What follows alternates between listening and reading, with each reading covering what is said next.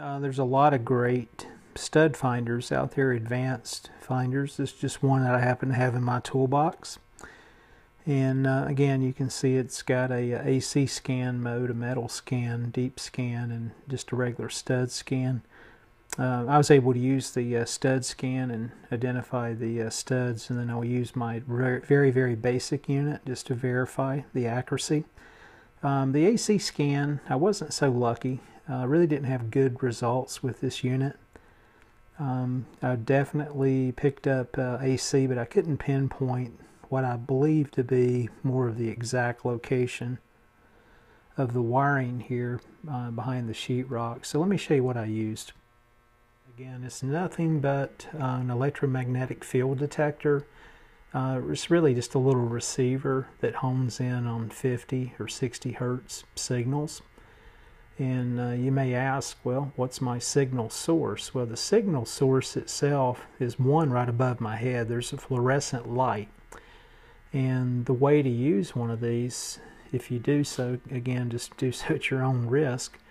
But uh, again, you, I think you can get fairly accurate um, readings.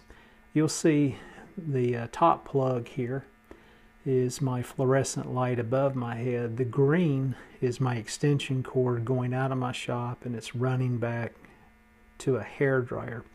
Hair dryers uh, generate tons of noise and this is actually the load or what I now know to be on the output side of my circuit. Now this circuit continues, it goes back through a switch and feeds an outside light, but again it's past the point of my workbench so I'm not really concerned about that. Okay, we'll just flip it on, there's just a little switch on the side and you'll see it kind of go through a calibration state. Now you'll see there's a uh, little detector here to end a cap um, in this area and as I move the unit up and down here, the sheetrock, as I get closer to the circuit, uh, you'll see that I get a peak reading. So again, that will be the location, or the assumed location, I should say, of the electrical line behind the sheetrock.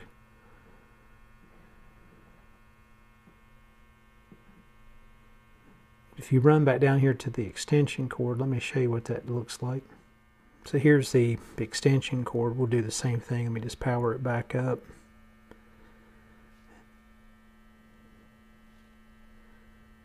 You can see here as I run in front of the extension cord. And again I've just got a hair dryer plugged in which is generating a lot of noise. So that same principle applies here. You can see the circuit itself that I'm working now. The load is to my left and I'm going back toward the breaker panel. And uh, you'll see the the uh, level or the signal strength itself fluctuate a bit and I think that's just because of the depth of the wiring behind the sheetrock and or other material so sometimes you know I'll notice that the uh, signal strength might die off just a bit and I do have some weird stuff going on. It looks like I've got kind of a loop of wire in the wall. I would love to open this up and figure that piece out. Um, but I did pop the wall plates off and just confirm here like where I'm showing this wire coming up and it appeared to be going into the bottom side of the outlet. That is the case. And in this case I've got uh, one that runs out of the top side. And then I've got another crazy loop here, which I can't explain. Um, but anyway, it's what appears to be in the wall.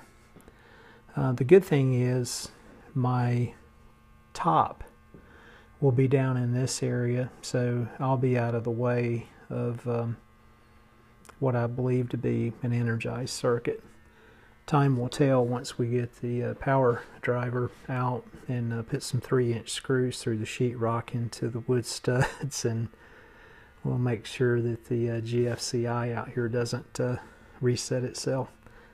If it does then we'll be uh, cutting some sheetrock open doing some repair.